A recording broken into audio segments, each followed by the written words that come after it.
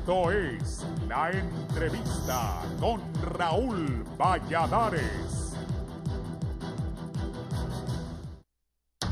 El proceso de gestión financiera del bus de transporte rápido BTR, más conocido como Trans 450, tuvo lugar en el segundo mandato consecutivo de Ricardo Álvarez al frente de la comuna capitalina, por lo que la obra valorada en más de 30 millones de dólares tuvo su primera inauguración en abril del 2014. El proyecto vendrá a mejorar la competitividad, eficiencia y modernidad de la capital en el traslado sostenible de la población de menor ingreso en su desplazamiento a centros de trabajo y zonas de desarrollo económico y social. Se le considera una de las mejores prácticas internacionales de traslado de personas al combinar bajo costo e impacto social conforme a nuevas regulaciones en la industria del transporte. Al impulso del proyecto se sumó el Banco Centroamericano de Integración Económica BESIE, que prestó 10 millones de lempiras, mientras la alcaldía capitalina aportó una contraparte para completar la construcción de la obra. El 24 de febrero de este año, equipos de la Agencia Técnica de Investigación Criminal ATIC asignados a los departamentos de investigación de delitos contra la administración pública, así como técnicos del Departamento de Procedimiento de Escena del Crimen, inspeccionaron distintas etapas de este proyecto. En el marco de la operación Tifón realizada en el año 2011, el Ministerio Público secuestró documentos en la sede del proyecto de ejecución del Trans 450, aspecto que ha retrasado la ejecución de la vía según mandos de la municipalidad. En octubre del 2015, técnicos analizan reestructurar el proyecto a fin de acomodarlo al modelo de desarrollo vial de la capital de la República, lo que hasta este momento no habían sido divulgados. El 28 de agosto del 2016, trabajadores municipales retiran los primeros bordillos de carriles a fin de ponerlos en funcionamiento y aliviar el congestionamiento vial en la ciudad capital la propiedad de un terreno privado que albergaría el taller mecánico para mantenimiento del BTR es otro motivo para que la obra se retrase. Mientras, en noviembre del 2016 el proyecto continúa siendo desarticulado cuando otros tres kilómetros de la vía son habilitados al tránsito vehicular. Ese mismo mes la regidora liberal Marce Facusé publica que el Trans 450 será sustituido por una ruta tipo monorriel, Días después, la comuna municipal informa que las rutas del bus de transporte rápido estará lista y habilitada en enero del 2018. Ante la inoperancia del proyecto en diciembre del 2016, la Agencia Técnica de Investigación Criminal secuestra documentos del TRAS 450. En fechas recientes, el Banco Interamericano de Desarrollo BID informa el inicio de gestiones para cobrar el préstamo inicial de 30 millones de dólares que supuso la construcción del Trans 450 en cuotas de un millón de dólares anuales que se amortizarán al capital. Asimismo, trasciende que mientras tarde el inicio de operaciones del proyecto, la tasa de interés pactada entre el gobierno municipal y el organismo de crédito internacional seguirá corriendo. La construcción del novedoso sistema de movilización masiva de personas en el área urbana vendría a modernizar las condiciones de transporte público de pasajeros y el tránsito vehicular en la capital hondureña. La primera y segunda etapa del mismo la conforman los tramos Estadio Nacional Colonia Kennedy y Estadio Nacional Emisoras Unidas. Fue construida y parte de las estructuras fueron removidas del primer segmento, ya que ocupan el espacio de donde se construye un paso a desnivel en ese sector. La tercera etapa del proyecto va de Emisoras Unidas a la Universidad Nacional Autónoma de Honduras y está en construcción aspectos que preocupan a la población capitalina que no se explican como partes de la obra están siendo removidas y otros en franca construcción. Para la entrevista les informó Amanda Mena y Samantha Velázquez.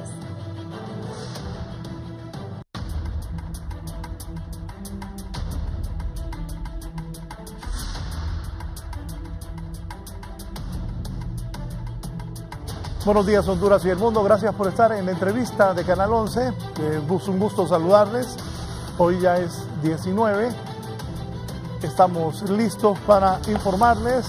Eh, gracias a la gente que nos sigue a través de Centroamérica TV en los Estados Unidos, pues, Facebook en vivo y también los invito que si en algún momento van a salir de su casa puedan escuchar este programa eh, a través de Radio Visión Honduras 90.1 en Tegucigalpa, la 93.5 en la zona central del país, hablo de La Paz, Comayagua, Cihuatepeque, La Huellojoa, de todo el corredor central, en San Pedro Sula en la 90.9 y en el litoral atlántico del país en la 105.5 nos puede escuchar en Radio Visión Honduras. El Trans 450, una expectativa en algunas partes del mundo que he tenido la oportunidad de visitar, he visto varios trans y, he visto que, funcionan bien, que sirven.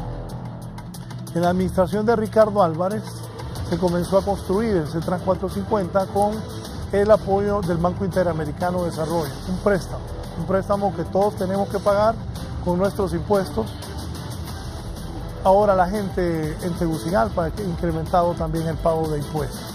Se ha generado una polémica, una polémica porque para algunos está destruyendo ya el Trans 450.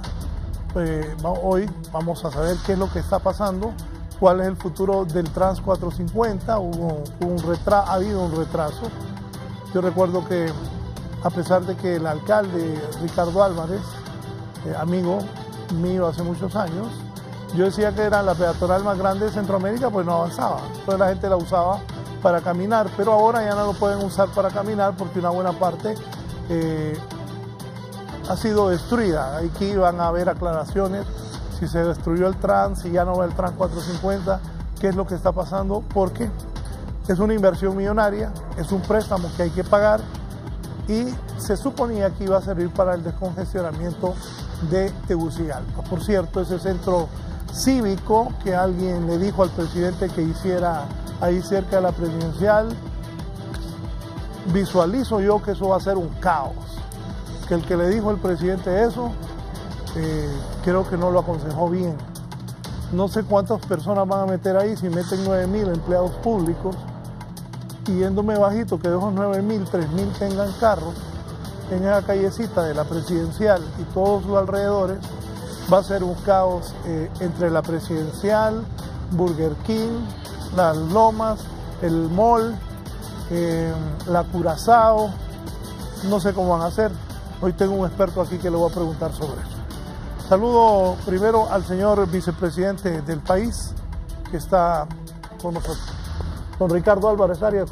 ¿Cómo está Ricardo? Bien, bien, contento de que eh, me volvió a invitar yo tenía como tres años de no estar acá. No quería. no, no, quería. Qué bueno. Pero más, más adelante vamos a hablar de política. Primero vamos a hablar con el ingeniero Sabla, que es el, el, hombre. Yo decía el, el, otro día que yo respeto mucho el trabajo que el ingeniero Sabla está haciendo. Me parece que es el hombre que, que, que le ayuda a, al, al alcalde Tito, que está fuera del país, por eso no lo invitamos está fuera del país, que es el hombre que le ayuda a desarrollar todo su proyecto. Ingeniero, bienvenido. Mucho gusto, licenciado Valladares. Es un placer siempre compartir con su programa y compartir con un especial amigo, el licenciado presidencial, eh, eh, exalcalde, dos periodos, es un hombre un activo muy importante del Partido Nacional también y que aprecio mucho especialmente. Tendríamos que hablar mucho en el, programa, esperamos eh, tocar todos los temas que sean de interés para los ciudadanos de la capital y tener la oportunidad de decirles qué hemos hecho, qué estamos haciendo y qué vamos a hacer con los impuestos que ellos están pagando y hay que decir, el recaudo ha mejorado en más del 50%. Sí, también invité al vicealcalde de la ciudad, eh, Juan Carlos García Medina, pero me dijo que tenía que ir a representar a una misa a la, municipalidad. Saludos a Juan Carlos también. Le están destruyendo el trans que usted construyó, eh, consiguió varios millones de lempiras para construir ese trans. Le están destruyendo, usted construyó y ellos están destruyendo. Cuénteme, ¿cómo es eso, don Ricardo? Eh, gracias por, la oportunidad y, lo que quisiera tal vez de repente es cómo nace, Raúl. Yo, creo que es importante que, entendamos eh, cómo, nace el trans. Eh, y lo platicaba hace un ratito con Roberto. Y es que cuando uno llega a un cargo tan importante como la alcaldía del Distrito Central, uno siente, y la mayoría de los políticos he creído yo que sienten de que saben todo y que cuando se montan, como dicen ahí en la burra, empiezan a tomar decisiones al respecto. Yo, yo llegué a la alcaldía enmarcado en un eslogan llamado Primero los pobres. Eh, Durante mi campaña y luego durante mi gestión demostré que mi eh, principal eh, labor sería mejorar su calidad de vida. Pero, ¿cómo llegamos a lo del Trans 450? Sabiendo de que yo no lo sabía todo y que tenía que definir qué teníamos que hacer a futuro, el PNUD me colaboró con la Cámara de Comercio e Industria de Tegucigalpa y se convoca a la ciudadanía de la capital para que plasmemos en un documento llamado la Capital 450, que es cuando en el 2028 habremos cumplido 450 años. ¿Cómo se le ocurrió eso del Trans 450 a usted? ¿O quién le dijo que lo hiciera? Me lo dijo el pueblo. 140 voluntarios decidieron cuál era la capital que queríamos o la capital que todavía queremos para el 2028. Entonces ahí una de las conclusiones es que se quería cambiar el sistema de transporte público. No, no fue automáticamente que te dijeron, "Hey, queremos un trans. De los 100% de entrevistados manifestaron que habían o presenciado o habían sido víctimas de la delincuencia dentro de los buses. Manifestaron que el promedio de viaje que tenían ellos era de 80 minutos. Se dieron cuenta que la cantidad de vehículos, en aquel momento 400 mil vehículos, y que para el 2028 estaríamos llegando al un millón de vehículos, provocaría tarde o temprano una crisis de tráfico en nuestra, en nuestra ciudad. y fue como así, entonces, se plasma en ese documento, Capital 450, y dicen, un nuevo de transporte público deberá de tener nuestra capital para aquel entonces. Fue así como entonces vamos a dónde?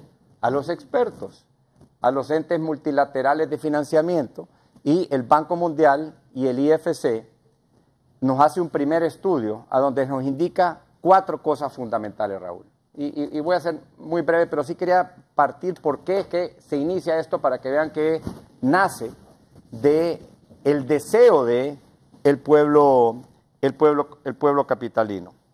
Y es ahí donde eh, es, ahí donde se plasma, y aquí está, ese, aquí está ese documento, que lo elaboran 140 voluntarios de todos los niveles, a donde dicen necesitamos un nuevo transporte público, viene el Banco Mundial y me dice, bueno, pero para eso necesitamos cuatro cosas.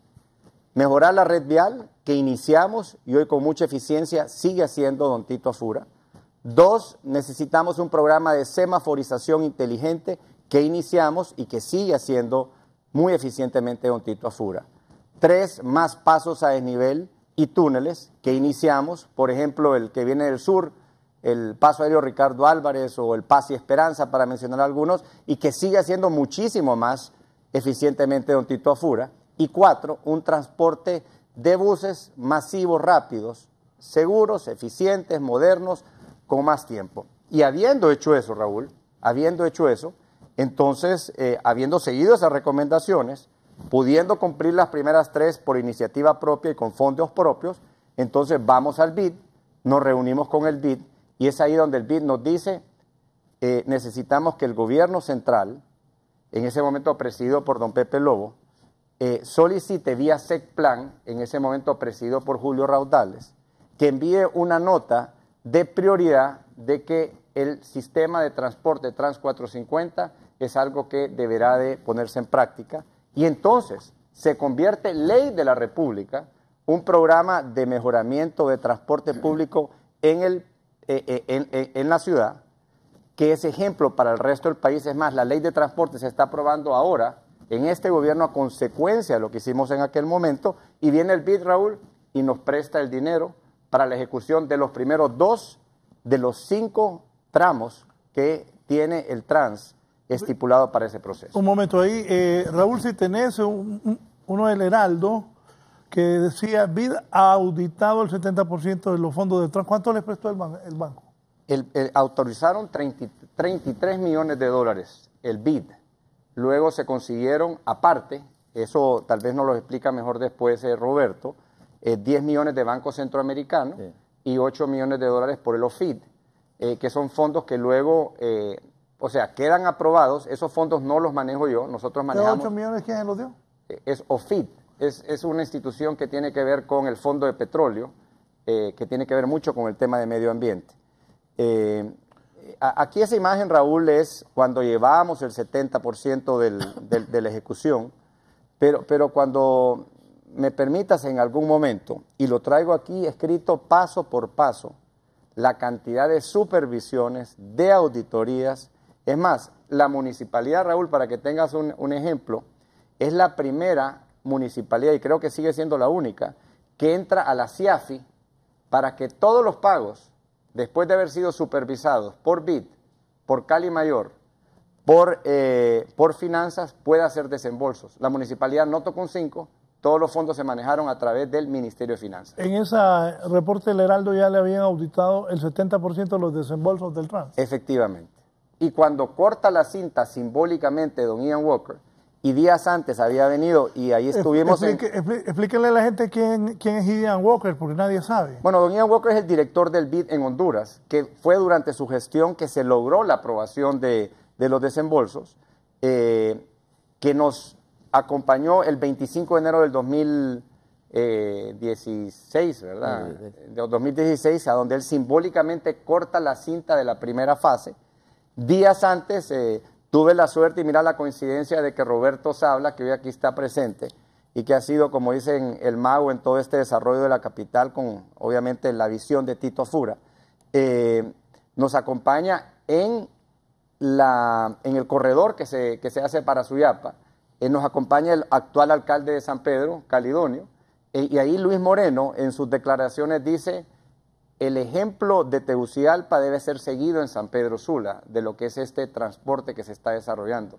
Y mira, e, estos funcionarios no van a correrse el riesgo. Uno, en ni cortar la cinta, y dos, en otro, en manifestar eso, si el proyecto no se hubiese manejado de acuerdo a todos los eh, parámetros eh, internacionales y de controles que tienen estos organismos. Sí, eh, ¿El Banco Mundial cómo estaba con ese manejo de los fondos también? No, el Banco Mundial, como te digo, Raúl, fue el que inició a apoyarnos eh, en el inicio de cuáles eran los pasos que debíamos de seguir para poder eh, implementar este programa eh, de mejoramiento de la red vial de la capital, que nos ayuda en estos programas de la semaforización, que fue un financiamiento que se logra iniciar con eso, y, pronuncia sus, sus opiniones al respecto. O sea, no, podemos olvidar algo, Raúl. Yo aquí voy a dar todas las explicaciones técnicas y estoy seguro que Sabla, Roberto lo va a dar igualmente. Eh, pero estamos en el año político, Raúl. Y hoy la, y hoy, y hoy la oposición, hoy el ciudadano, lo que va a hacer es tratar de, de, desmentir estos procesos y hacer creer de que lo que hoy estamos diciendo aquí no es cierto. Pero... Ahí decía el representante del Banco Mundial en Honduras, Ian Walker declaró que está satisfecho con el manejo de los fondos para desembolsos para el proyecto del Trans 450, porque su oposición en aquel tiempo decía que era, decían que era una movida. ¿Y, cuántas veces no se ha dicho de eso, por ejemplo, cuando el, anillo periférico? Y, mira el ejemplo del anillo periférico. Ya va metiéndose con su amigo. No, no, no. El anillo, el anillo periférico, ¿cuántos años, Raúl, tiene de haberse iniciado en, este, en esta ciudad? 25 años. Sí, yo me acuerdo que una empresa Cartelone eh, estaba demandando al gobierno de Beto Reina, que Dios lo tenga en su gloria, el doctor Carlos Roberto Reina, buen amigo de mi padre y amigo mío. Eh, es, tener razón. O sea, y, la sabes que quiero poner de ejemplo. Pasaban cuatro años, adelantaban cinco kilómetros, iban el presidente, el de, el de Soptravi, el alcalde de turno, y cortaban la cinta de esa fase que ellos habían iniciado. Venía el siguiente gobierno y adelantaban 7, 8 kilómetros más y venía el nuevo presidente, el nuevo ministro Soptravi y el nuevo alcalde y cortaba la cinta en ese momento. Yo no quiero decir que ese sea el mejor ejemplo, pero, pero, pero así, y, van 25 años y se está terminando ahora en la administración de Juan Orlando Hernández finalmente, ¿verdad? Después de cuántos años de que muchos quisieron hacer un montón de cosas. Es más, vamos a terminar la carretera de Olancho, después vamos a hablar de ese tema, después de tantos presidentes que pasaron y este lo está terminando. Pero si querés hablamos política después, Raúl. Lo que te estoy diciendo es de que se lo que se hizo en el Trans 450 llenó todos y cada uno de los requisitos de supervisión, de licitación, de desembolsos que están y que estuvieron subidas permanentemente en todas las páginas en la de Capital 450, en la del BID, en la del Banco Mundial, en, en- la de la, el de la alcaldía. Ahí estaban hasta el último documento que acreditaba cuánto se iba avanzando, cuánto se había pagado, por qué el espesor, por qué el tipo de, viga que se utilizó, por qué la anchura de los, eh, de- de- del diseño que se hizo. El diseño viene, Raúl, no de lo que yo quería hacer. El diseño se hace y pasa por los lugares que hacen porque expertos que en base a una lista Es que es lógico eso. corta, de una lista corta de los que el BID contrata por su experiencia, entonces se licita, vienen y dicen, mira, este es el diseño y quién lo determina, expertos colombianos que han hecho y que son famosos por el Transmillennium, que fí- fíjate que los mismos que, que se ganan aquí la licitación lo hacen en eh, el- la- lo que es esta empresa Staldi, también se la ganó en San Salvador y en San Salvador ya está funcionando. O sea, empezamos al mismo tiempo. Hasta el día italiano. ¿ah? Sí, pero Ta- es que está ta- en todo el mundo. ta- no, correcto, también fueron, a ver, yo recuerdo que, que acompañé al doctor Reina Roma. Usted ya ahí- ¿verdad? Igual que usted. No, ya días. ¿Tú ¿Te acuerdas cuando usted era gerente de, Usted ya días, ya días. Eh, bueno, Con mucho orgullo, yo... con mucho orgullo. Usted nunca recuerdo- estuvo en esos puestos tan pequeñitos, usted siempre estuvo No, arribita. re- Recuerde que usted... Arribita, es la diferencia. Mientras yo andaba reporteando, entrevistando a Camilo Atala... Y a mí a veces. Usted andaba en Chores, Sí. comiendo un cono Sí, a las 2 de la tarde en una calle. Va, sí, yo quería. Y me dice Camilo Atala, mira ese. ¿Y mi- y mira dónde estoy? No, por eso. Porque era, es correcto. Era mi, era mi día libre porque estaba trabajando en los mercados. Sí, tenía era gerente de ¿verdad? mercado. Él y Juan Carlos García han estado un buen tiempo por el bien de la alcaldía de Tegucigalpa. Bueno, pues que el pueblo juzgue. Si a mí me reeligieron no fue porque me postulé y el pero pueblo decidió. Vamos a esto. Póngame una toma ahí donde, donde, donde- donde han, eh, ahí por el Banco Atlántida, porque después el ingeniero va a explicar si han destruido o qué es lo que están haciendo. Ahí está, ¿eh? Miren, la que antes, eh, porque no sé, pues yo lo decía de una manera, porque de verdad era la peatonal más grande de Centroamérica que le servía a la gente, mientras no se desarrolla todo el trans. Eh, pero ahora ya la gente no puede ir a caminar porque se ha hecho esto, se ha destruido eh, esa parte. Ya nos va a explicar el ingeniero Roberto Sabla por qué. Pero usted estaba molesto cuando vio eso. Claro. Cuénteme. Ahí todos ¿Qué sintió? ¿Qué dijo? ¿Qué pensó? Es que como no sabía, no Nadie sabía. le dijo. No, es que no tienen que informarme. No, yo sé, pero. No, y- ¿quién, y mire, y ¿quién yo- le y- llevó la noticia de primero? No, yo, yo, yo aquí pasé mi Semana Santa, Raúl. No sé usted, pero yo aquí pasé mi Semana Santa. ¿Y por qué mete conmigo? Yo No, me- es que- Yo aquí la, yo aquí que- es que yo me di cuenta. Usted es el que tiene que explicar ese trans, no yo. No, yo puedo explicar hasta el 25 de enero del 2016. Hasta ahí puedo explicar. ¿Qué pensó cuando vio eso así? Me dio coraje, me dio coraje, porque yo dije, hey, eh, mi primera expresión es, están destruyendo lo que nosotros hicimos. Eso fue mi primera impresión. Pero de mi primera impresión, yo no salgo a dar declaraciones, ni tampoco pongo ningún tuit, sino que empiezo a investigar qué pasa. Y entonces lo que me indican que pasa es que ese tan aclamado y deseado túnel que tiene como 20 años de estarse deseando hacer esa intersección, el alcalde Afura decide hacerlo. Pero entonces yo dije, ¿cómo vamos a hacer un, un túnel ahí si por ahí va el trans?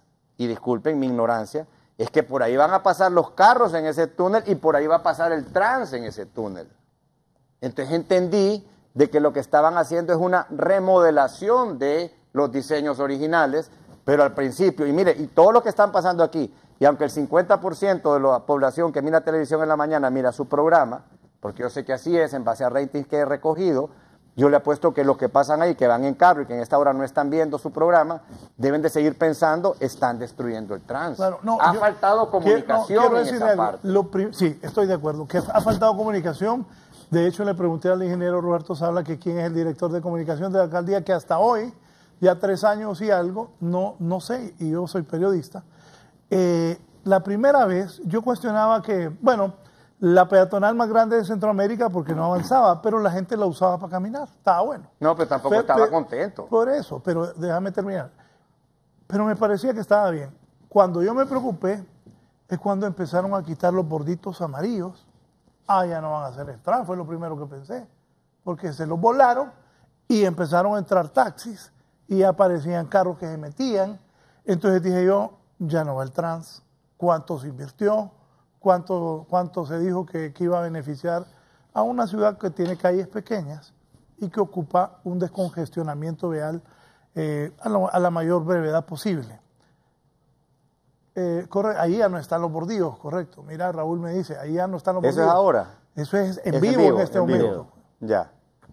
Ente- eso es, o sea, ya no está la, ya no está O sea, la. ahí ya no está todo lo que, que, que, que- Ya voy a explicar. Y, Sí. y- y sabes qué, y sabes qué también, y, y aquí con, con el ánimo de, de que veas que este es un, un diálogo que creo que es muy interesante, aunque no deja hablar usted el señor Sabla. es que ya lo va a dejar, es que Sí. usted que no, Bueno. no, no suelta la guitarra. Ah, lo que le quiero decir, si yo hubiera amanecido el lunes de Semana Santa con esa imagen, Pero es que tú- No, no, no, no, oiga lo que es voy a te decir. No, no, no, que- antes de la Semana Santa yo me preocupé cuando No, empezamos a quitar los pero, gorditos. Pero no, está bien, yo también me preocupé. Pero si yo hubiera visto esa imagen el lunes después de Semana Santa y no los escombros que vi, no me hubiera generado la reacción de coraje. Quiere decir que la empresa que se encargó de levantar, hasta pudo haber pensado en algún momento que con mala intención lo dejó para que el lunes fuera la noticia del día, para que fuera la noticia de la semana, para que fueran las imágenes que utilizara la oposición para atacar tanto Pero a Tito pero- como atacar a Ricardo. No, pero como a la empresa eso sí le está pagando. eh, ¿Y por qué le está los pagando Tito, toda la Tito semana? Y Juan Orlando Hernández. Mire, ahí está. Mire. No, por eso. Ahí están. Ah, no, sí están todavía. Ahí están, ahí están. Está bien, te está hablando. Bueno, no me alegro, pues, no me alegro. Bueno, Pero ya sé que vamos para un... ¿se, se enojó usted con Tito Afura ese día? No, yo no me enojo. Y no me estás diciendo que te dio coraje. Me dio coraje, pero no contra Tito. ¿Y contra quién? Contra que no estaba viendo que la obra se Ah, estaba entonces contra, finalizando. contra Roberto Sabla. pues. No, porque el que es manejando la unidad ejecutora es otro señor. Aquí No es Roberto. debe estar contestando como político. Dijiste que te dio cólera. Te dio No, cólera coraje. con Roberto.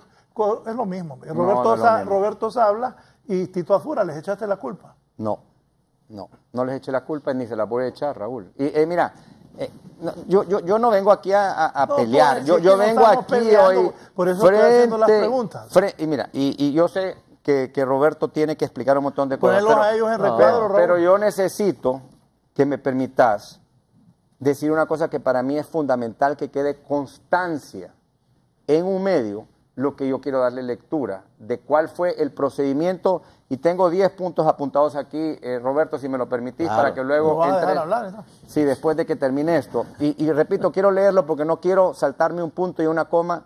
La manera transparente que manejamos la determinación para llegar a este momento. Que después de hacer todos los estudios técnicos del sistema para la ciudad, con donaciones de la cooperación técnica internacional gestionados, pagados por el BID, con un valor de 2 millones de dólares en contratos de firmas internacionales de España y Colombia, el consorcio ALG y Silva Carreño, donde determina lo siguiente, que hay que definir el plan maestro público para el Distrito Central con cinco corredores ejes. Ese fue el diseño inicial. Un plan de movilidad en el centro histórico donde no pasaran los buzos grandes. Un plan de sustentabilidad y movilidad que es el manejo del medio ambiente y el impacto social del proyecto, ciclovías, estacionamientos y otros. La ingeniería y diseños técnicos según estándares internacionales. Los espesores de concreto, las paradas, el cableado subterráneo, las aceras y puentes peatonales. Entonces el BID procede después de esto, Raúl, a hacer el préstamo de los 33 millones de dólares del 2012 al 2016 mediante un convenio de crédito BID y Gobierno de Honduras para la primera fase. El gobierno central, por medio de la Secretaría de Finanzas y por mejor dicho CEPLAN, emite una nota de prioridad de proyecto y define política de Estado, la modernización del transporte público. Seis, el contrato se lleva al Congreso Nacional, se convierte en ley y luego lo firma la Secretaría de Finanzas y el BID. Inicia entonces ahí la discusión de la ley de transporte que hoy se está aprobando. El Trans 450 es el primer proyecto municipal, como les decía, en incorporarse al CIAFI. Y oiga lo que le voy a decir con esto, Raúl. Todos los pagos se hacen a través de la caja única del gobierno central. No es la alcaldía quien hace los pagos ni administra el dinero. CEFIN pone sus controles para supervisar el proyecto mediante informes trimestrales al gobierno central junto con la Oficina de Presidencial de Seguimiento de Proyectos. Nueve, el BID realiza misiones de supervisión semestrales para monitorear la ejecución financiera y técnica del proyecto según su diseño original. Todos sus informes están en la página web del BID. Los invito a que la busquen. En la lista de empresas certificadas del BID se contrata, medio concurso nacional, la firma auditora KPMG para auditar el proyecto. Otra auditoría. Sus contrataciones, el cumplimiento del contrato de crédito, las estimaciones de obra. KPMG de Holanda es una de las cuatro auditoras firmas más reconocidas del mundo. Vía licitación pública internacional se contrata la firma Cal y Mayor para supervisar la calidad de obra y aprobar los pagos a los contratistas. Cal y Mayor es una firma mexicana con 40 años de experiencia en ingeniería de transporte. Vía licitación pública internacional se contratan dos empresas constructoras, Astaldi y Santos y compañía. Astaldi es la misma empresa que se gana la licitación en San Salvador para el Trans del Salvador. 13. Se creó la veeduría del Trans 450. Adicionalmente, todo eso decidimos nosotros, potestad nuestra, la corporación, con la participación de quienes? Iglesia Católica, Iglesia Evangélica, la CCIT, el CNA durante todo este proceso. Se pone aparte, ¿y qué ocurre? Ponen una denuncia y el Congreso abre una investigación y lo único que encuentra es que hay una denuncia por medio ambiente del el talado de unos árboles que luego se explica cómo se ha venido reforestando en otros lugares. El Tribunal Superior de Cuentas, cero hallazgos en este proceso. Viene Luis Moreno y dice que este es un ejemplo. Vi a Ian Walker y corta la cinta. ¿Cuánto más quieren que les expliquemos de la manera transparente que se ha manejado este proceso? Aquí quiero dejar evidencia de ese asunto. Todo ha sido transparente y malos hondureños, gente interesada que esto no funcione, son los que han hecho que esto sea algo que crean que ha sido un monumento a la corrupción. ¿Malos hondureños? Sí. ¿Que no quieren? Que no quieren que funcione un transporte público masivo, moderno, porque afecta a otros, Raúl. mira, mira, con aunque ya se está ordenando el sistema, el, sector transporte, el sector transporte. Si usted mira los brujos por un lado, si usted mira los tuk-tuk por otro lado, usted mira... Ellos son, eh, usted, eh, eh, son los que han montado una campaña que esto es un monumento a la corrupción. No lo sé si fueron ellos, pero lo que sí te puedo decir que fueron ellos, fueron los que me demandaron en la Corte Suprema de Justicia y durante nueve meses me detuvieron el proyecto porque no querían el transporte. Pero hoy ellos van a ser los dueños del transporte. Ellos son los que lo van a administrar. Estamos oyendo Jorge Lanza. Eh, bien, ingeniero, ingeniero Sabla. Sí, es que yo me acuerdo de Jorge Lanza, amigo, es candidato a alcalde Carlos Montoya hace poco. Jorge Lanza es eh, ahora uno de los que va a manejar eso. Jorge, eh, ya escuchaste a Ricardo. Ingeniero, explíquenos, toma por favor de, de lo que ayer el Banco Atlántida en vivo ¿Qué, pasó, ingeniero? Bueno, lo que estamos... Eh, eh, ¿no, están destruyendo, están destruyendo ustedes lo que Ricardo hizo? No, no, totalmente negativo, no, no, es, no es cierto eso. Mire, lo que estamos haciendo ahí, licenciado dar es lo siguiente. Estamos haciendo una modificación en el Boulevard Centroamérica a la altura de lo que es Diunza, Banco Atlántida y Banco de Occidente. Esta modificación consiste en la construcción de un túnel que va a viabilizar más la funcionalidad del Trans 450, ¿verdad? Porque va a entrar en el túnel también va a entrar una carga vehicular. Tenemos que recordar algo. Por ese punto, por ese bulevar, transitan más de 50 mil vehículos diarios. Es una carga fuertísima vehicular, por un lado. Y recordemos que también eh, el parque vehicular de la capital ha crecido eh, significativamente, muy, fuertemente en más de 600 mil vehículos. Entonces, esto hace con una agonía tremenda eh, a los que transitamos por ese sector. Este túnel va a tener una longitud de 320 metros y va a ser de cuatro carriles, dos carriles uno de ida y uno de regreso para el trans y dos eh, vehiculares, uno de, uno de ida y uno de regreso. Tenemos que recordar algo. El Boulevard Centro, Centroamérica va a ser una vía rápida porque inicia desde el túnel de Juan Pablo II, va a continuar con el túnel allí en, en Diunza, va y tiene la otra obra que vamos a entregar dentro de 10 días, que es el acceso directo, un paso de nivel hacia Miraflores, hacia Miraflores, también ya estamos por adjudicar un túnel en la primera entrada de la colonia Kennedy también para generar ahí una viabilidad muy importante. Ya se adjudicó inclusive otro túnel en el sector de Jacaleapa y un paso de nivel para destino hacia Unitec porque ahí se genera un tremendo congestionamiento vial en la capital. Entonces usted va a tener ahí un corredor rápido. Y, y al inicio del programa decía que le preocupaba un poco el centro cívico. Pero también quiero decirle que a través de la vía que va hacia, que pasa por enfrente de Casa de Gobierno, estamos terminando de diseñar un paso aéreo que va a pasar enfrente del café, enfrente del Inter, del Mall Multiplaza, a interceptarse el anillo que estamos, al, al túnel que estamos haciendo en Ruby Tuesday y de ahí vamos a continuar cuatro carriles pasando por la a, rotonda de la hacienda. Pero ahí, pasando- ahí en enero, ¿Ah? ah, no quedan, va a colapsar eso. Bueno, estamos también... Eh, eh, eh, eso es. Ahí quiero solo agregarle algo. eh, yo creo que su preocupación, eh, claro, Es válida. que, eh, Y, tiene y alguna... Robert, y solo una pregunta, Ah. y creo que, yo creo que lo que está diciendo es muy bueno, lo que van a hacer. Y la preocupación No, es legítima. está- está no, no, lo, legítima. a lo que digo Solución, es correcto. que también, Raúl, están, eh, por donde va a pasar el trans, va a servir para que mucha gente que quiera venir al centro cívico se va a bajar ahí para poder caminar hasta el punto un par de cuadras sin tener que traer el vehículo, sin tener que venir en bus, sin tener que venir en taxi. Entonces, el trans también cumple un rol importantísimo y por eso creo que lo están haciendo más eficiente. Estamos más bien ahorita ahí generando también una conexión hacia el centro cívico a través del trans. Estamos buscando tres soluciones más eh, de viabilidad en ese sector, porque recuerde que va, ahí va, va a venir y va a albergar 10.000 funcionarios públicos, ¿verdad? O sea, es una carga eh, fuertísima, pero va a tener cuatro y medio túneles de, estacionamiento más una torre de estacionamiento también. 10 mil funcionarios públicos en esa callecita. Sí, sí, pero va a tener 4.5 Bueno, a, mí el, tú- a, a mí el mismo Tito Azura me dijo, no sé quién enganchó al jefe o quisiera eso. Bueno, eh, yo creo que al final miremos, miremoslo desde este punto de No, vista. eh, estoy, de- Estamos- estoy de acuerdo estamos- que, y lo felicito, le están buscando salida, porque eso, y, y otra cosa bien importante, licenciado Valladares, mire, fíjese que el venir, y el, ahorita el, el- gobierno central está diseminado por varios puntos de la capital, nos va a ayudar a ordenar. Mire, donde hay cada dependencia de Estado nos genera una crisis de, estacionamiento.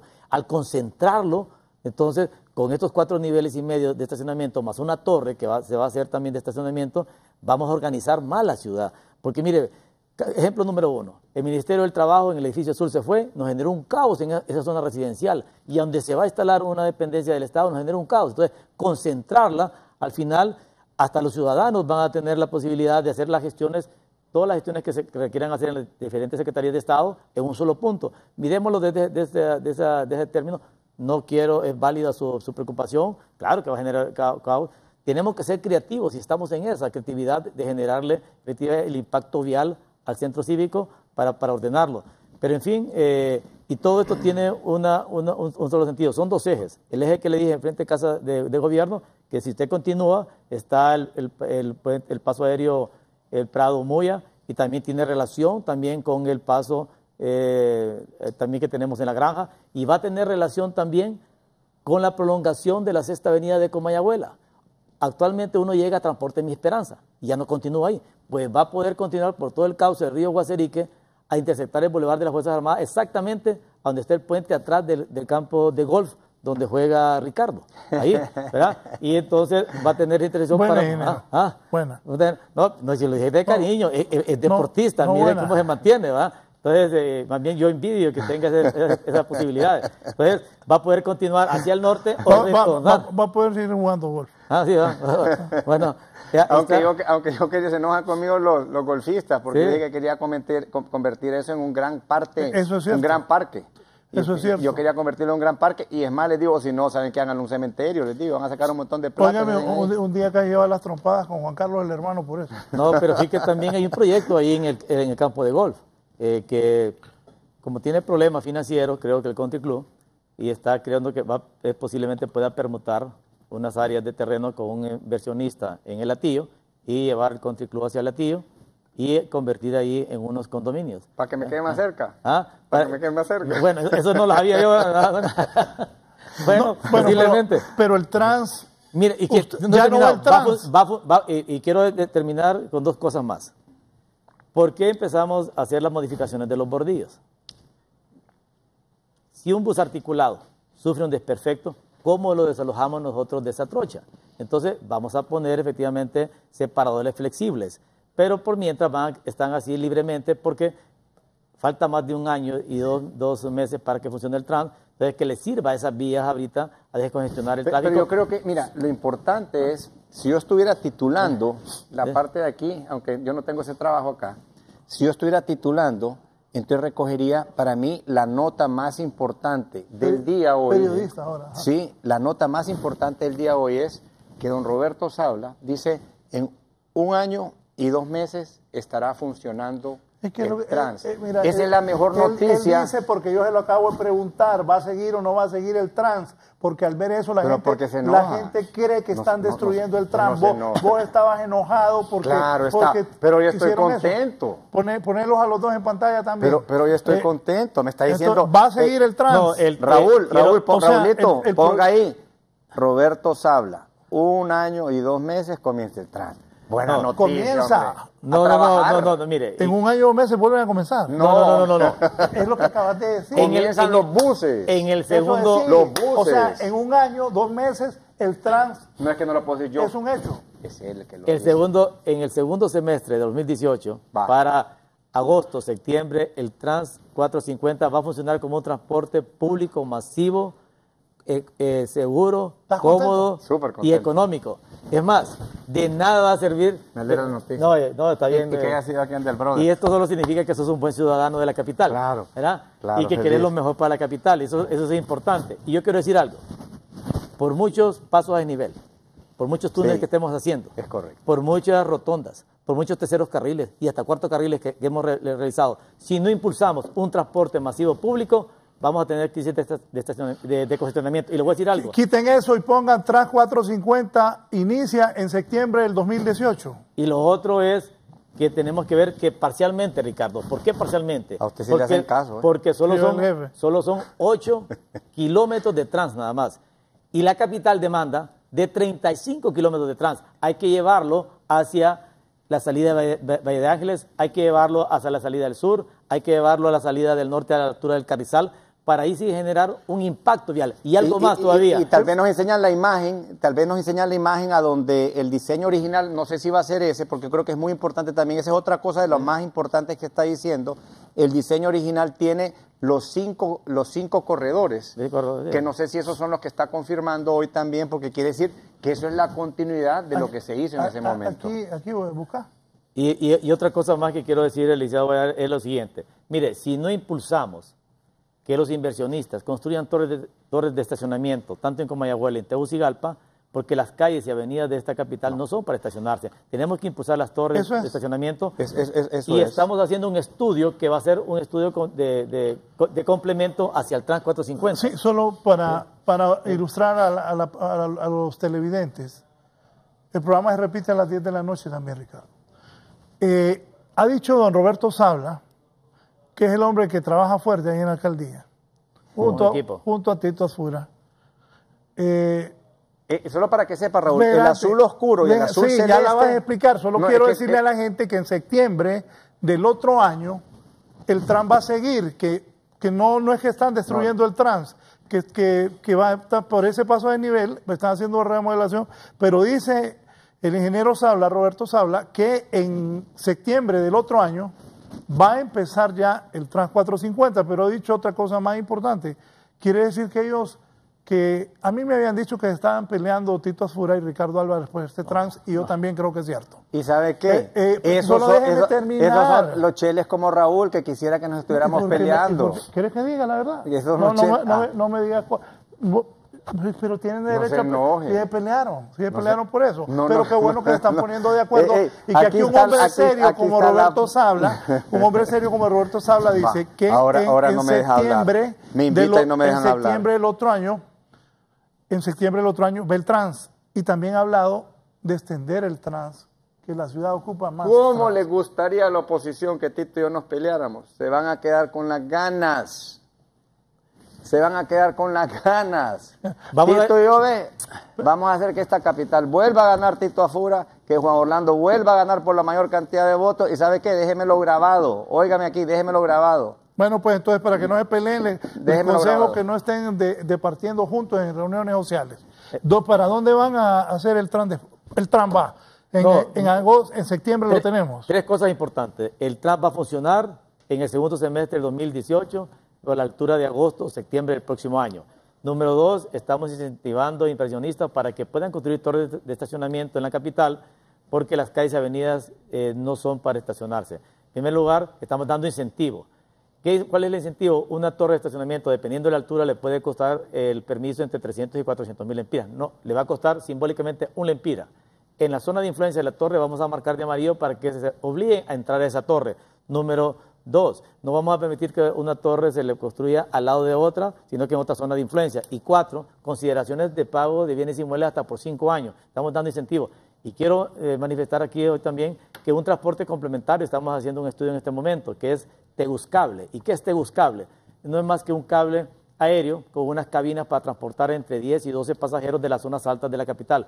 Ejemplo, reparto arriba al estadio, de la zona alta de Zonal Belén al estadio, que va a ser un complemento para el trans. Ahí, va- ahí está la mini terminal del trans. Entonces van a poder continuar hasta el sector de la Kennedy o al sector de la universidad. Entonces tenemos que tener esa creatividad. A esto hay que sumarle la vía rápida. ¿va? ¿Y ¿Qué, ¿Cuál es la vía rápida? Es la vía que vamos a construir desde el puente del Chile por toda la ribera del río Choluteca hasta intersectar el anillo periférico a la altura de lo que es el puente en la satélite, ahí por las propiedades de la Fuerza Aérea Hondureña. Ya licitamos y adjudicamos el primer tramo, de San José de la Vega hasta el anillo ¿Y eso periférico. cuántos años va a tardar? No, ¿Unos no, 10 años? Ese, no, e- e- e- ese tramo que ya lo licitamos y lo ubicamos debe estar listo para finales de este año, totalmente, ¿verdad? O sea, 22 obras que se ha comprometido el alcalde Afura tienen que estar listas. La mayoría para diciembre y las otras antes del 25 de enero del 2018, que termina el periodo del alcalde Afura. ¿Por qué no fue prioridad para ustedes el trans? Ha sido prioridad para el alcalde Afura, para su corporación No y su creo, equipo de con, con trabajo. todo respeto, no creo. Lleva- llevan tres años, tres años, enero, febrero, marzo, en abril estamos, ¿va? Tres años, cuatro meses, Hemos hecho algunas modificaciones. y no han hecho casi nada, y, y ahorita de- destruyeron esa parte. No, eh, modificamos la parte, no estamos destruyendo, estamos haciendo modificaciones. El túnel, Raúl, ¿verdad? es- Sí, pero eh, eso, eso no cuesta pisto. no, claro, pero miren, toda la infraestructura que venga a beneficiar a la capital cuesta dinero. Eh, mire, el problema es que Sí, el problema es- teníamos, es, teníamos un es de- atraso. es- es, eh, eh, por los diseños, como decía Ricardo, el problema es que se destruye algo que ya estaba construido, que costó dinero y ahora Y- y- se va... pero quiero- quiero explicar Robert, esa Robert, parte. y sí, explícalo, pero yo también, sabes que la parte que se olvida ¿Eh? es el ahorro que le va a generar al que ande. No, es que esto es cierto, Raúl. Fíjate que cuando se desarrolló, te voy a poner un ejemplo, enfrente del Estadio Nacional, que fue el primer paso a desnivel que yo hice en base a lo que Yaica indicaba que era la zona de mayor congestionamiento y que lo había dejado los diseños Miguel Pastor, tengo que decir al respecto. Debo reconocer esa parte. Eh, ¿Hizo no- algo, Miguel?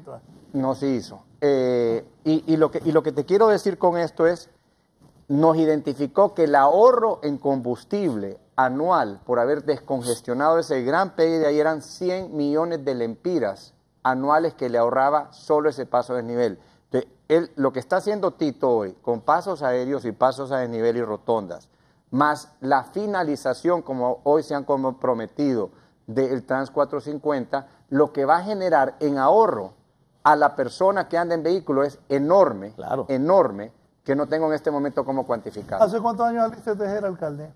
Tres años. Tres años, sí. Entonces van a ser como cinco años que va a tardar en terminar el trans. Y quiero decir algo, en otras latitudes de, de América se ha tardado 8 o 9 años. Lo importante, No, es que, lo importante es que funcione. Yo fui a Bogotá a verlo, fui a Cali a verlo y realmente eh, Yo lo vi- se, se yo- quedaron, se, quedaron atrás ahí en Bogotá. O sea, no, no fueron visionarios y ahora el trans más bien eh, no cubre toda la demanda. Ah, yo pero quiero- es que yo Bogotá es una de las ciudades más grandes Sí, de Latinoamérica. Yo, yo- he visto ese trans y, y sirve. sí, sí, no, totalmente que sirve. Y, Y- Guatemala también muy bueno desde No, mi punto de vista. No, pero también. di- dicen que el alcalde de Guatemala le dijo a Tito Fura que no llegara con eso. Me extraña porque ha sido el mayor promotor. No, no, Pues, no, mire, creo. eh, Él ha sido te el mayor estoy pro- diciendo porque yo lo sé, No, no porque sé. la misma gente me lo ha dicho. Pero que, la ah, es gente que, que, a es que Tito ahora, Afura le ahora, dijo, ahora el alcalde de Guatemala va a decir que se hace en la le, capital. dijo, a- le dijo a Tito Afura, Yo le- en frente de un amigo mío, el amigo mío que, que no anda tapando a nadie, me contó, oye, me voy, le dijo que no siguiera con eso. me.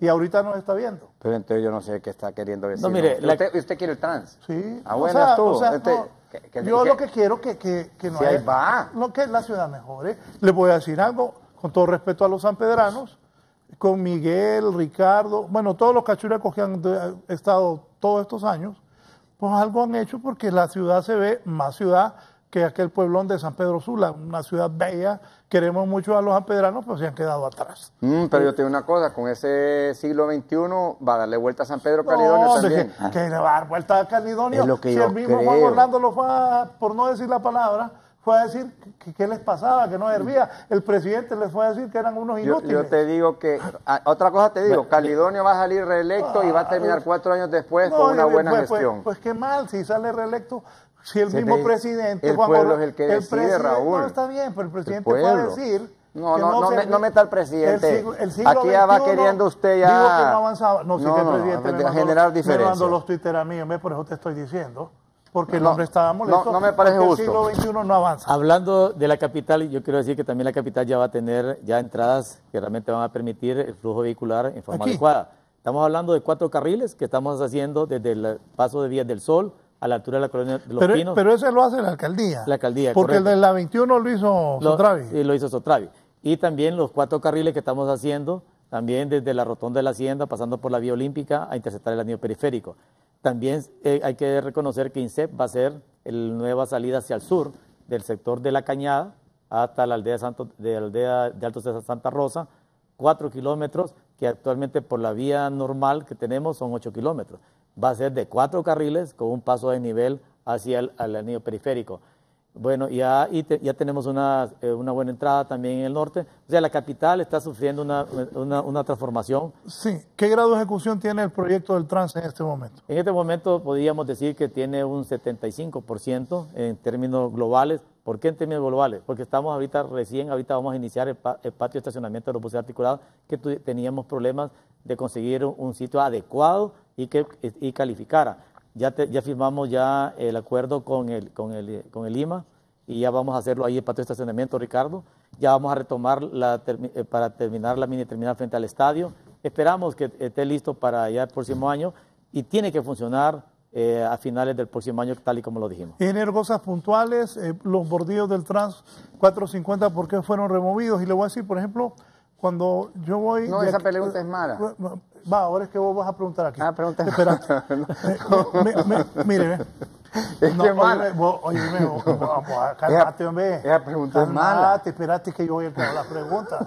Le pone un programa y vos haces... Eh, mire, ¿por qué removieron los bordillos? Otra cosa, eh, hay veces que uno va saliendo aquí de, del, del cargo de Vico por el Partido Liberal, que no volvió a salir, que quería ser diputado y no volvió a salir. Vico, retírate la política. Ahí va. Eh, oye, Ahí va. 23, no, por favor.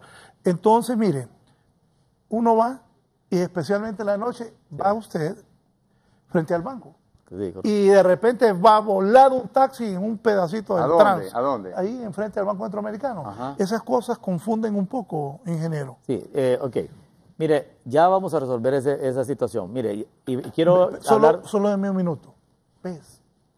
La pregunta es importante. Está diciendo el hombre, ya lo vamos a resolver. Lo que pasa que vos ya no vas de la alcaldía, vos ahora estás en lo, en lo más grande que es el país.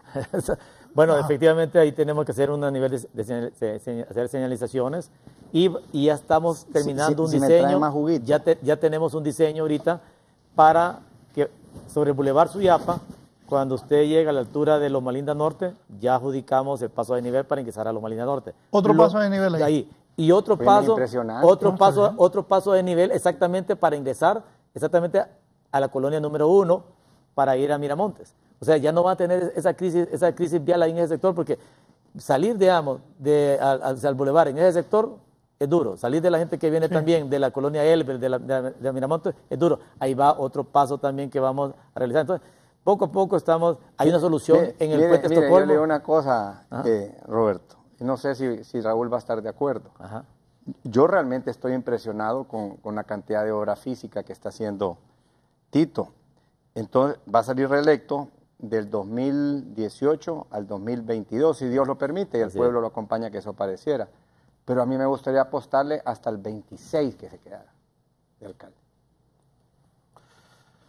Ey, para que terminemos de arreglar la ciudad del todo. Bueno, la ciudad Bueno, demanda... eso es lo que a mí me gustaría, ¿me entiendes? La ciudad demanda con el Como plan... capitalino. No, ya está, vos estás pensando ya político, que, que No, querés que el no. otro se quede en la alcaldía para vos lanzarte presidente. Va, Ya me está lanzando Raúl No, ahora sí. sí, Ya me está y- Y vos no lanzando. estás diciendo que ya vamos a hablar No, de mira, ¿qué política quería de después. la capital? Después vamos a No, hablar. no, re- realmente la capital... El requiere- trans sigue, ingeniero. Sigue el trans, no hay ninguna duda, Va, y, va, siguen, y siguen va. otras obras que van a, van a generar una dinámica vial muy importante que nos va a permitir tener ahorro de tiempo, ahorro de combustible y que todo esto incide en la economía de cada uno de nosotros, tal y como lo decía Ricardo. Mire, realmente es, es impresionante las obras que estamos realizando, son fondos estrictamente municipales, no hemos entregado a la alcaldía un tesoro Empira, esto, y quiero aprovechar y agradecer a los ciudadanos de la capital que están pagando sus impuestos y que con estas obras están demostrando el poder de sus impuestos. Y hemos mejorado el recaudo en casi un- más de un 50%, Ricardo. Qué bueno. Eso es un agradecimiento a los ciudadanos que, que están apoyando y que creen en el alcalde Afura, en su corporación y su equipo de Claro. trabajo. Y estamos comprometidos. Falta mucho que hacer por la capital, obviamente, no, no estamos diciendo que vamos a resolverlo todo en cuatro años. La capital a este ritmo requiere fácil de 12 o 16 años Va. a este ritmo. Va. ¿ah? A este ritmo. Ahí está. Estamos pensando en lo mismo. No, Que es por el bien de la capital. No, yo estoy de acuerdo. Todo el que sea buen alcalde, es que siga. Que siga. Esto- todo el que haga una buena función, que siga. Y qué ¿Sabe bueno, una qué cosa? bueno, ¿Sabe una qué cosa? bueno, mire, Cuando un alcalde es bueno, es- no, se reelige. sí. Cuando un presidente es bueno, se reelige. Con Orlando lo vamos a reelegir. Ay, hombre. Bueno, ya vamos a hablar de política. Déjame No, terminar si con estamos hablando ¿Estás del trans. contento que hoy el, el ingeniero Roberto Sabla te ha dicho aquí que el trans sigue, Sí. que va a Eh, terminar Eso es en bueno para, el que más piensa pobre. operar por eso. Pero ya no estás enojado. Ya estoy claro. Que es lo más importante para mí. Con más razón, apoyar con más fuerza a Tito. Fíjate que agarraron un meme ahí de, un- de una- de un platillo volador que llegaba y te lo terminaba de destruir. Ya va a venir el que va a terminar de construirlo, pues. Ah, Eh, ya ve- viene es otro. más, esos que hacen Viene el memes. hoy que hacen esos memes los invito a que entonces traigamos el ovni, a donde entonces está haciéndolo macanudito, por no decir otra palabra. Macanudito todo el, todo el trance. Decía, hombre. y- No, no, no. No, no. Después me dice mi mamá que tengo que portarme bien. no, tu mamá, una gran dama a quien saludamos.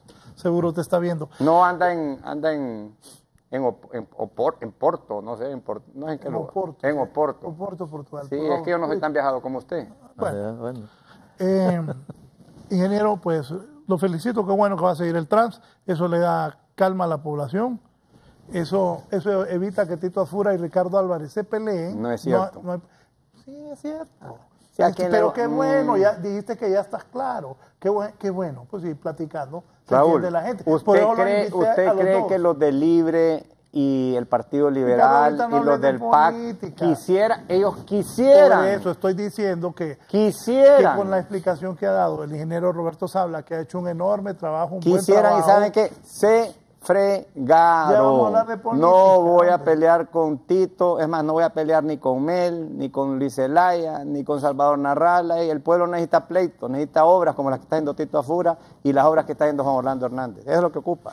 Ingeniero, ¿qué le dice a la población? No, pues en primer lugar, eh, agradecer esa enorme confianza que han depositado en el alcalde Afura, en su corporación y en su equipo de trabajo, y que seguiremos impulsando mayores obras. Y sí, así Dios, lo, lo- eh, Dios lo- nos da la oportunidad, y, y los ciudadanos de la capital, y cuatro años más, les aseguramos de que vamos a resolver gran parte de la problemática vial de la capital.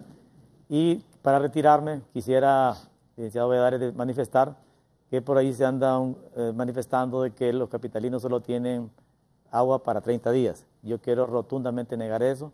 Los niveles de las represas son mejores de, de los niveles del año pasado. Estamos incorporando inclusive en, esta, en, en esta, en este mes 12 nuevos pozos que van a aliviar el suministro de agua potable. No estoy di- diciendo que vamos a resolver el problema del agua, sino que vamos a tener un sistema sostenible de racionamiento, como siempre ha pasado en Tegucigalpa, dos veces o tres veces a la semana en cada barrio y cada colonia.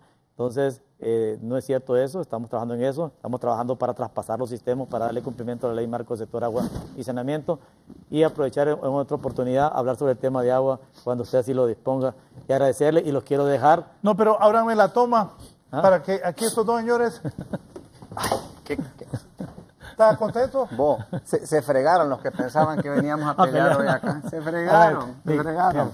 No, Ingeniero, no. gracias. Hoy, hoy sí los dejo para que puedan hablar cómodamente de política, ¿verdad? De, de los ovnis, de la política. Porque yo disfruto, yo disfruto de la parte técnica, también disfruto de la parte política, pero los voy a dejar para que ustedes puedan tener y, le digo una mejor. y le digo una cosa.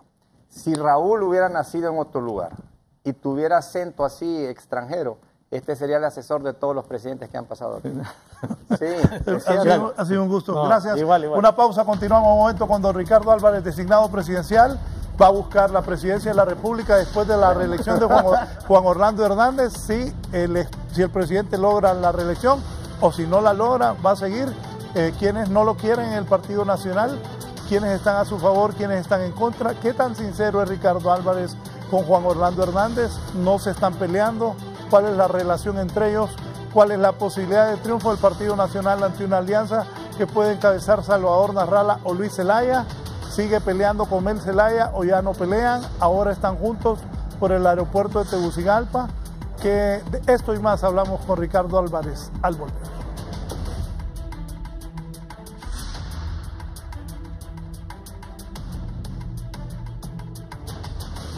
Continuamos en la entrevista con don Ricardo Álvarez. Ricardo, eh, Jugo de na- hijo de pucha. Jugo de naranja azula. ¿Cómo es el anuncio? Se va a poner alegre. Tráiganle una servilleta. Este Ricardo no cambia. Se va a poner alegre, Lenita, que lo estás anunciando. Aquí me está diciendo un amigo que soy una tumba profanada. No, ¿cómo como, así? como dice un hermano de él, eh, yo no soy tapadera de nadie.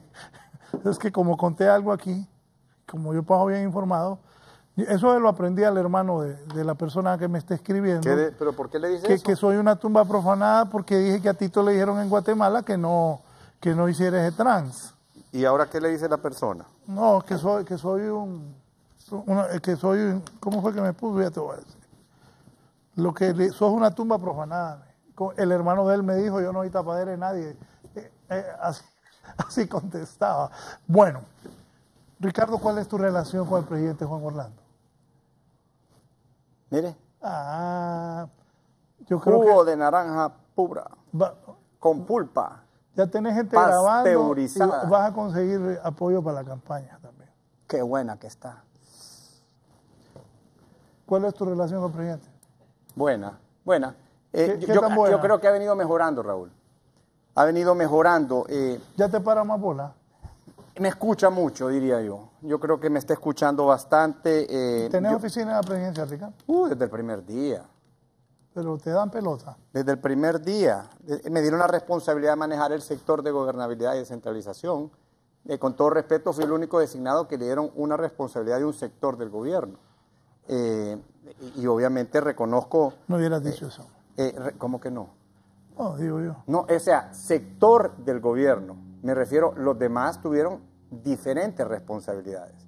Son, son, eh, yo, yo hubiera querido manejar un montón de otras cosas que las compañeras designadas manejaron, eh, pe- pero son Ah, es que yo creí que decías que no, no les habían dado nada. diferentes. No, claro que sí.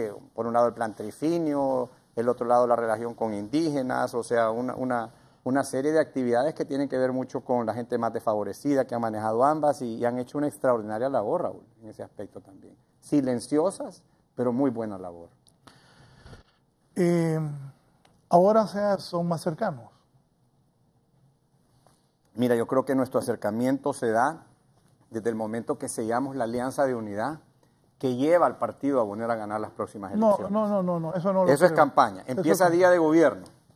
¿Qui- ¿Quieres que te cuente algo hoy? Que, que nunca se lo había contado a nadie. Espero que no sea algo que, que el presidente me reproche por decirlo hoy. El 27 de enero, alrededor de las 6 de la tarde, eh, eh, Reinaldo Sánchez se me acerca y me ofrece un cargo adicional eh, que me manda el presidente a, a ofrecer. Ya te quería quitar de designado. no, o sea, designado y otra función. Canciller. y me, me ofreció ser canciller de la República. Y le di las gracias. Le di las gracias por, por el- lo honrado que me sentiría en, en ese nombramiento, eh, pero en ese momento sentí que no era el momento para yo ocupar ese cargo, eh, y, solamente eso es una muestra de la confianza que el presidente el primer día de gobierno me eh, demuestra diciéndome quiero que me ayudes a manejar las relaciones exteriores del país. Solo ese reconocimiento que nunca había hecho público y que hoy te lo cuento a ti, solo me demostró ese primer día de gobierno que me tenía confianza.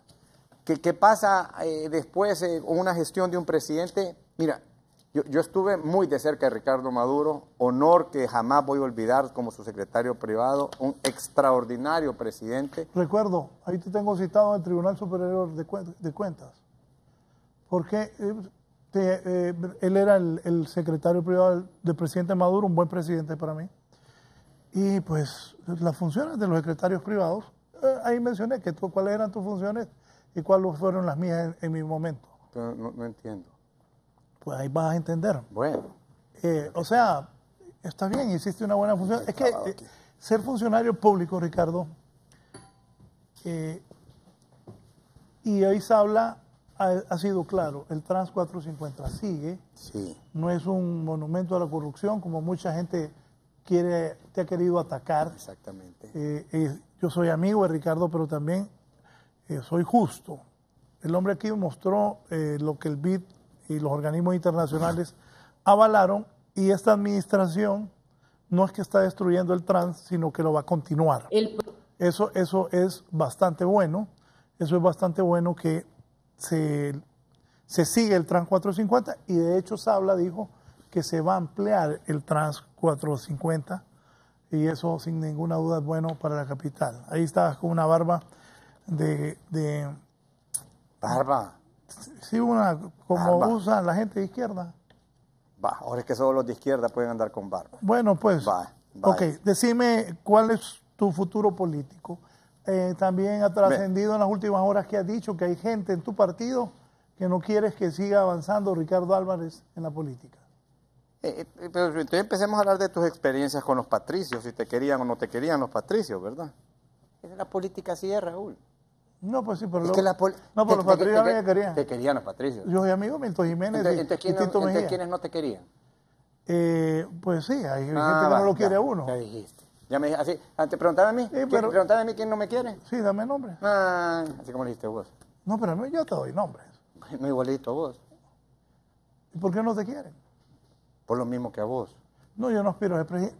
Hoy no aspiro a ser presidente. Mm, ¿Quién sabe? Pues hoy dije. Sí. Uno es nunca- más, uno eh, nunca sabe lo que le sí, depara la vida. Hablando de eso, usted debería de ser más bien Ricardo, hombre. el, el- Estamos el candidato de la alianza. Estamos hablando de vos, no gracias. ¿Ah? No gracias. ¿No le gustaría ser candidato No. de la alianza? Se muere la gana de ser No. candidato de la alianza. Se no, si se le entregan en bandeja de plata. No, Ricardo, no. ¿Cómo que no? No, no es mi momento político en este momento. Va. Y usted- a los 80 y- años, va, como Carlos Roberto Reina, Dios lo tenga en la gloria, va a Ganó, ser. ganó. No, por eso, a los 80. Ga- Ganó. Igual, te puede pasar a vos. Tal vez nos enfrentamos Igual- a los igual- 80. Correcto. Bueno, larga vida para los dos, pues bendito Dios. En el tiempo de que Elvin era, se iba a lanzar, yo iba a ser candidato a alcalde, eh, aquel amigo de nosotros dos que le está hablando al otro para decirle que Ajá. eh, me, me dijo que no porque podíamos a- a- a afectar tus aspiraciones. Bueno, yo creo, Ricardo, que Creo que no le hubiera ido muy bien, con todo respeto. ¿va? no, con Elvin Santos en aquel momento los teníamos 22 a 1. Ah, entonces por, por, por, por, Elvin es que le iba a ir bien a usted. No, y, también, y porque no te iba a poder enfrentar. Y Elvin va a ser primer diputado. Aquí está, este pedacito nuevo le ayudó. Usted fue. Bueno, ese es No, amigo, lo, que es sí amigo que, de nosotros. lo que sí quiero reconocer es que, y, y, y sí lo voy a reconocer hoy públicamente, que gracias a la invitación que ha hecho Raúl, eh, hoy con la presencia de, de Sabla y el anunciar la continuidad del Trans 450, eh, podemos respirar más tranquilos, podemos estar más contentos. Eh, el Trans 450 es la solución en más del 50% de la problemática del tráfico de nuestra ciudad, en el ahorro del combustible, en la menos contaminación, en la menos estrés, en menos eh, violencia eh, para las personas en los, en, lo- en los transportes. Así que e- es una muy buena noticia. Mu- mucha gente estaba temerosa de que estas discrepancias entre esta administración que yo admiro y respeto de Tito Afura eh, y con la mía que tiene contrastes totalmente separados en, en- ver cómo se administra y cómo se, se trabaja en una ciudad. Pero repito, admiro la gestión, eh, pe- pero, pero hoy haber logrado ese consenso y no haber logrado lo que se morían de la gana la gente de la oposición, es un enfrentamiento entre Tito. Eh, yo, yo, yo, en eso no, no, no pierdo de vista que hay un fin superior al que nosotros tenemos que trabajar y es Honduras, y es mi capital. Y por una diferencia de algo mío, yo jamás voy a poner en riesgo ni la presidencia de mi partido con Juan Orlando Hernández, ni una alcaldía del Distrito Central tan buena que está rectorando Tito Afura. Así que yo, debo de agradecérselo, se lo digo sinceramente, porque estos escenarios no son muy frecuentes, a donde, y, para que también estén tranquilos, eh, voy, a ir a ver a Tito la otra semana, lo voy a ir a buscar a la, alcaldía, le voy a pedir una reunión en conjunta y, le voy a pedir que salgamos juntos para que eh, no quede duda al respecto de que aquellos que se les hacía, la, se les hacía agua la boca para que esto pasara, eh, vean lo maduro que estamos en lo que es prioritario para nuestro país. Sí. Eh... ¿Le están mandando mensajes? No. Ah, sí, claro. Eh... Sí, léalos. No. Usted sabe que cómo, nos hemos vuelto, Raúl, también. Y yo, yo, le quiero pedir a usted un favor. Aquí me está diciendo Juan Carlos Pineda que vos y yo personalizamos mucho, pero lo que queríamos saber es si el trans seguía o no. Y ahora vamos a hablar de política. A mis saludos a mi amigo Juan Carlos Pineda Chacón. Eh, Igualmente, saludos a Juan Carlos. ¿Cuáles son tus aspiraciones políticas? ¿Cuál va a ser tu rol en esta campaña de, reelección de Juan Orlando Hernández? Es primera vez en la historia política de Honduras que un presidente se puede reelegir. Es una reelección histórica. Eh, ¿Qué crees cómo va a actuar la oposición? Hace dos días el expresidente de Paraguay pretendía reelegirse y al final tuvo que declinar porque en Paraguay la gente le prendió fuego al Congreso y murió una persona. Aquí en Honduras, ayer yo hablaba, se aprobó la reelección del presidente y no hubo protestas en la calle. ¿Cuál va a ser tu función para que gane eh, Juan Orlando Hernández? Vas de designado presidencial de nuevo, pero ¿qué vas a hacer en esta campaña? Bueno, lo estás haciendo. En este momento lo hiciste cuando decís, no estoy peleando con Tito, voy a ir a ver a Tito. Porque claro, la gente quiere que se peleen. Claro, claro. Sí, sí, mira que, y, yendo por tal vez por, por el orden, eh, Raúl, ¿qué, voy a hacer en esta campaña? Es mantener un partido unido en primer lugar, eh, asegurarme de que viajo por el país en los momentos que mi, mi tiempo me lo permita, eh, promoviendo la imagen del presidente, por qué debe salir reelecto.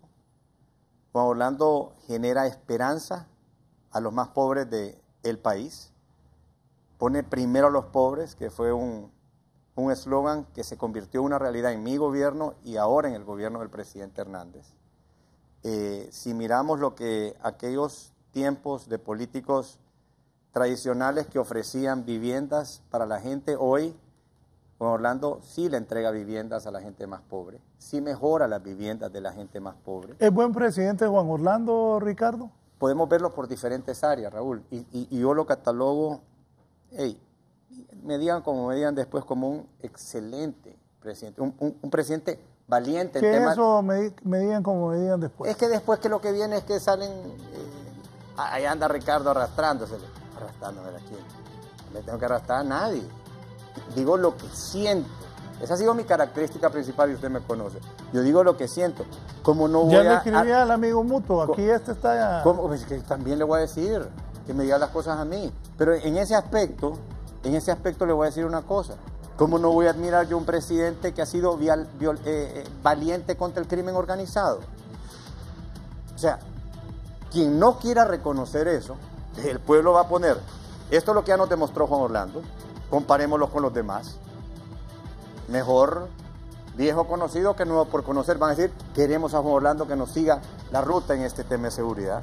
En el tema de los más pobres, óigame, 5%, yo trabajé en los mercados, 5% diario, 5%, te daban 100 pesos en la mañana y tenías que pagar 5 en la tarde o 105 en la, eh, eh, en la tarde.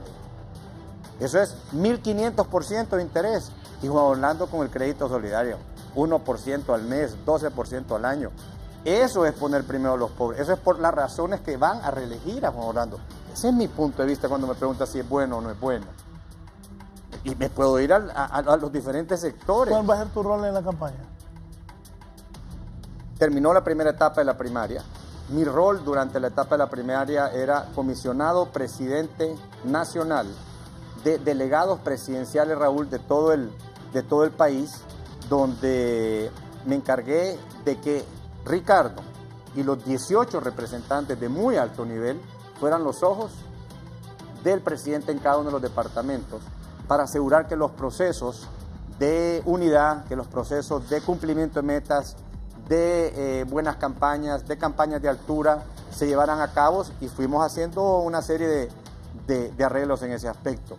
Ha terminado esa etapa, cumplimos nuestro objetivo. Un millón trescientos cincuenta mil hondureños fueron a votar por Juan Orlando, un millón ciento cincuenta mil votos válidos. Le sacamos 500 mil al Partido Liberal, le sacamos 700 al Partido Libre y le sacamos un millón ciento cincuenta mil votos al Partido PAC, Le tiene- comparando internas con internas. Eh, ¿Le, le tiene temor a la alianza que, opositora que cabece Salvador Narral? O sea, usted ya dice que va a ser Salvador. Sí, sí, Bueno. sí, sí, yo lo digo. Sea Salvador, que lo respeto mucho, pero creo de que no se convirtió en la persona indicada para, eh, para estar metido en política. Me, pa- me parece ¿A quién sería, que, que más, algo ha pasado. ¿A quién sería más difícil vencer a- para Juan Orlando? ¿A Salvador encabezando la, la alianza o a Luis Zelaya encabezando la alianza? No, no, no, no, yo no, yo no quiero juzgar Raúl. eh. Yo, yo- bueno, ¿Sabes qué voy a decir? Los tres son buenos candidatos. Xiomara, Luis y, y Salvador. Pero uno más uno más uno no es tres en esa alianza. Si así se diera la alianza, varios de los del señor Luis Zelaya se vendrían con Juan Orlando. Varios, dependiendo quién encabece, varios de Narrala se vendrían con Juan Orlando, dependiendo quién encabece. Igual con Xiomara se vendrían con nosotros. Entonces, ese juego de uno más uno más uno no suma lo que ellos están buscando. Eh, que sea la decisión de ellos. Nosotros como partido, y no solamente como partido, vuelvo a decirlo, hay un porcentaje tan grande de independientes que van a valorar y van a poner sobre la mesa a quién quiero confiarle cuatro años más mi futuro. Y entonces cuando cada quien vea, bueno, en el área de educación vamos por buen camino con Juan Orlando, entonces la población va a decir, un 50% va a decir a lo mejor que sí, y de ahí el otro 50 va a decir que no. El 50 va a votar por él y el otro 50 se va a dividir entre ellos tres. 17, 18 y 15. Tema de ¿Estás seguridad. seguro que gana Juan Orlando? O sea, yo, yo- yo- yo no, yo puedo decirte hoy, con la experiencia política que tengo, como cuando, y, lo digo con respeto, como cuando eh, van las presidencias y Ricardo Maduro se lanzó a la presidencia, yo dije, Ricardo Maduro va a ser presidente.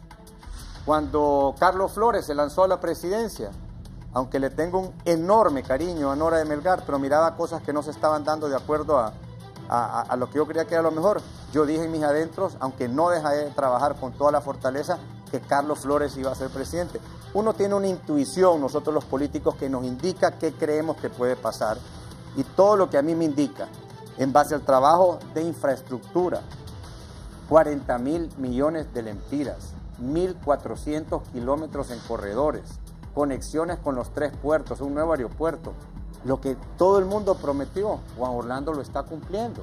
Así de sencillo. O sea, cuando, cuando vuelvan a ponerlo sobre la mesa, esto es como los alcaldes. ¿Nos conviene seguir con este alcalde? Tito Afura, sí. Ok, relijámonos.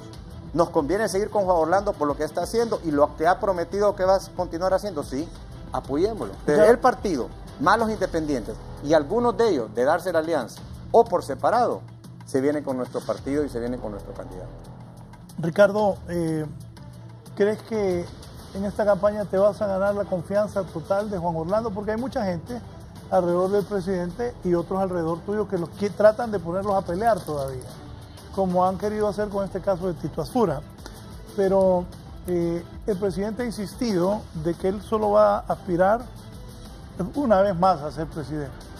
De ahí, él, él, él- sí él lo dice y tiene razón. Yo haría lo mismo en mi partido, que va a buscar que su partido siga Sí. en caso de que él gane. ¿Vos seguís pensando en ser presidente? Sí. Sí, Raúl, tengo, Pero tenés, tengo, tengo un sueño de, de darle continuidad a muchas de las cosas que el presidente Hernández ha dado inmediatamente después de que él deje el cargo. Esperaría, como se lo he mostrado hasta ahora, seguir ganándome la confianza de él y con todo respeto a su equipo, no necesariamente de su equipo, es la confianza de él, que me estoy ganando día a día y lo estoy demostrando. Mi partido lo sabe, a mi partido le he demostrado, por mi partido sigo luchando y voy a seguir luchando. y que se vengan quienes se vengan después no importa. Quienes se quieran lanzar dentro de mi partido en una contienda justa, transparente, a donde sea el pueblo que decida. Yo en eso no tengo ningún problema de enfrentarme, eh, pero lo voy a seguir haciendo. Y quiero darle las gracias por la última encuesta que tuve acceso, nuestra, a donde después, y lo digo con mucha humildad, después del presidente Hernández, la segunda fuerza se llama Ricardo Álvarez. Y eso no se, debe a mí, se debe a los miles de amigos y amigas a nivel nacional que creen en mi proyecto, en mi propuesta y lo que he hecho por mantener a mi partido unido. Bueno, ya días no, no, no venías al programa. ¿Te han querido involucrar en el caso del Seguro Social? Inclusive han querido involucrar a tu hermano Juan Carlos Álvarez. Entiendo que ustedes entablaron una, una, acusación contra... Una querella. Una querella contra el señor Montes. No, no, eh, ojo. Han pasado un mes y medio. Lo que fuimos a solicitar era la transcripción de lo dicho para proceder con la querella. Estamos esperando que nos eh, eh, un abogado los, mencionó, ahí está el video. Sí, correcto. Y, efectivamente la decisión que ha tomado mi familia es que ahora eh, aquella persona que presente acusaciones falsas contra cualquier miembro de nuestra familia, vamos a proceder. Vamos a proceder con toda la fuerza que la ley nos ampara para tal propósito, porque lo que sí han venido haciendo es señalándolo a uno. Es más, ayer Raúl salió un, y, no quiero hacerle publicidad a ese, a ese medio digital eh, malvado, eh, que ya se había girado orden de captura contra este su servidor. ¿Contra vos? Sí. Por, al, mamo, Ricardo Álvarez. Por, por, lo, por lo que estaba pasando con el trans. O sea, por lo que estaba pasando con el trans, iban a venir a buscarme a mí. Y tuvo que salir alguien del Ministerio Público a desmentirlo, Raúl. Pero aquí es a donde... Ponelo ahí, ponelo ahí, por favor. aquí es a donde yo le he dicho a... Ahí donde le he dicho yo a mis hijos, es a donde yo le he dicho a, mi madre, a donde yo le he dicho... Lástima que le Ministerio Público abrió... No, pues y vos lo pusiste. No, yo no lo puse. Vos lo mencionaste, pero... Ah. No, pero está bueno que lo aclares. Ministerio Público, te voy a decir algo, Ricardo. Esto de las redes sociales es algo... Aguantan con todo. Aguantan con todo pueden decir que, bueno... Pero aquí tenga cuestión, hombre. bueno... Sí, Raúl, es que ¿sabes qué? Es, que a mí lo, por lo único que eso me molesta y me indigna es por mi madre, mi esposa, mis hijos y mis amigos. Ayer me habló alarmado un, un, un, abogado primo mío, Ricardo, ¿es cierto esto que estoy hablando? ¿Qué es cierto qué? Em, eh, pero mira, el Ministerio Público salió desmintiendo la cuestión. ¿Qué trascendencia puede tener una cosa de estas? ¿Cuánto daño puede provocar una cosa de estas? Pasamos de la sociedad. Aparte de eso, sos el designado presidencial del país. Y, estoy listo para enfrentarme. No, no, sea correcto. no, pero el daño que eso hace, la internet, ahí le ponen de todo a uno. A, mí, yo también en el 2007, no, en el 2008, fui producto, igual que vos y que Elvin Santos, fuimos producto de una campaña de ataques en la internet increíble. Sistemático. Que yo tenía 300 millones de lempiras, que, que, bueno, cualquier cantidad de cosas. Yo senté igual a mi familia y les dije, miren, estos son ataques políticos, como, como te hace. Yo recuerdo que, que también te atacaban a ti en ese momento y a, y a, y a, y a Elvin Santos, pero ahora es peor la cosa. Ahora es peor la cosa. Sí, en aquel tiempo te acordás. aquellos eran chismes de cafetín que ahora se convierten en chismes del Internet con fines maquiavélicos y malévolos y de odio que destruyen honorabilidades o ponen en duda la honorabilidad de las personas. Y, eso es algo con que vamos a tener que aprender a vivir. Pero, pero hay gente que no, obviamente no tiene madre. Y yo hablando de eso... De, gente mal corazón. pero sabes que eso están en todo el mundo y van a existir siempre. Eh, pero la muestra está, Raúl. ¿Quién el trans? ¿Quién el seguro? Que en lo que me hayan querido mencionar a lo largo hasta este segundo, en este momento, nadie nunca ha presentado una tan sola acusación o prueba en mi contra. Nunca. ¿Usted, cree que mi, partido me hubiera vuelto a llevar de designado si yo estuviera metido en algo indebido. No, hombre, me hubieran apartado. Aquí está la muestra, está la muestra. Y vamos a seguir luchando porque al final esto es por una buena causa, es por un bien superior, es por lograr que Honduras cambie y que siga cambiando como Juan Orlando lo está haciendo y como Tito está haciendo en la capital. Esto, esto no nos van a detener, nos dan mucho más fuerza, nos dan mucho más ganas. Nos vamos, Ricardo, te agradezco que hayas venido. No, gracias, Raúl. ¿Qué, qué le decís a la población? Gracias, Ricardo. Mi Que- aprecio y amistad siempre. Que tomen jugo de naranja azula. Está muy bueno y agradezco siempre la presencia a votar por Juan Orlando, Tito Afura y los alcaldes del Partido Nacional para seguir transformando Honduras. Bien, gracias. Esta mañana con nosotros estuvo en los primeros 40 minutos el ingeniero Roberto Sabla, que ha dicho que el Trans 450 estará operando en septiembre del otro año, de acuerdo a lo que ellos tienen proyectado, y que todavía están pensando en ampliar ese Trans que inició en la administración de don Ricardo Álvarez Arias, que está aquí conmigo esta mañana. Ricardo dice que va a apoyar y que apoya a Tito Azura y a Juan Orlando Hernández y que él va a querer ser presidente que va a llegar a los 80, puede ser, a los 70 o a los, será ya, no, a los 60 empezaría la campaña, papi. Bueno, pero no tengo 54. Ajá, Y cuatro años más de... de- Pero, pero me, veo y me siento pichón. Por eso, pero cuatro años más de Juan Orlando. 10 kilómetros diarios, son, papá. Son 58. 10 kilómetros diarios Bueno, me estoy echando. a- ahora, sí. Ah, otra cosa, eh, ponerme el ovni, eh, ajá, y el ovni solo rapidito así. No, eh, no me pongan el Only, póngame el Twitter de lo que puse. A veces no lo había visto. Ya, bien, volve- volvamos. ¿Eh? Ahí está, ahí está. Oíme. No digo mejor. Oíme. ¿Y, y qué pasó ahí? No digo a quién se parece, rápido. ¿Qué, ¿Qué pasó ahí? ¿A dónde sí que voy a saber qué pasa? Son los memes que están sacando Por ahora. eso, pero cuando pusiste eso de, de los ovnis en Copán. ¿Qué dije? Los ovnis existen y salieron de Copán. Correcto. Esa fue la primera ¿Y por qué frase. Porque había un objeto volador no identificado sobre una pirámide de Copán. Y no dije que, que era y- la hija de, la nuestra amiga Nelly Jerez. Entonces después pongo, y la ex ministra de Turismo lo sabe. ¿Y por qué lo sabía? Porque era su hija la que estaba arriba. Pero era una broma que estaban haciendo. El sentido de humor. ¿Cómo decís? Ahí está. Ahí está, sí.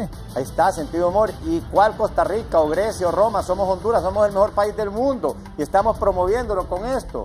Ah, hay que promover Honduras y eso es lo que dice. Yo felicito a Valentina. El OVNI es igual a ¿Qué Valentina. La ministra es una madre orgullosa y somos Honduras, somos todos los hondureños que amamos esta patria y que la vamos a seguir levantando. Oíme, siempre sos noticias. Tenés algún parecido con Tron en algunas cosas. Gracias, buenos días a todos.